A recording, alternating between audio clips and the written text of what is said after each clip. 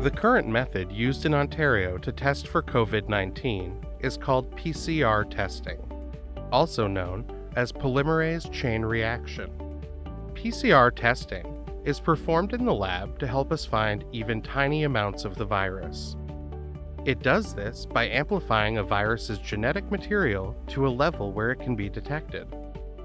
The test requires a sample from a person. This sample is collected by a healthcare provider, typically using a swab inserted into a person's nose or throat. Once we receive the sample, the information about the sample and the patient is entered into our Laboratory Information System, or LIS, for tracking. Then, a technologist uses chemicals, referred to as reagents, and equipment to extract the genetic material from the sample collected on the swab.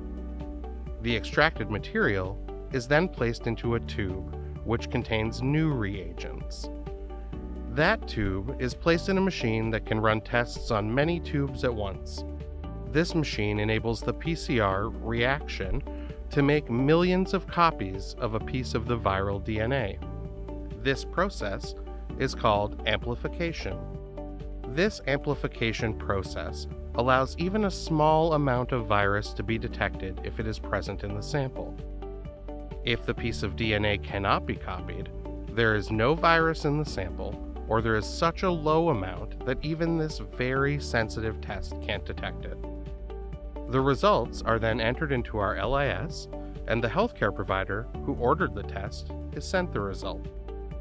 The person who was tested is then informed of their results by the doctor or the institution that ordered the test, or gets their results from the Government of Ontario's results portal.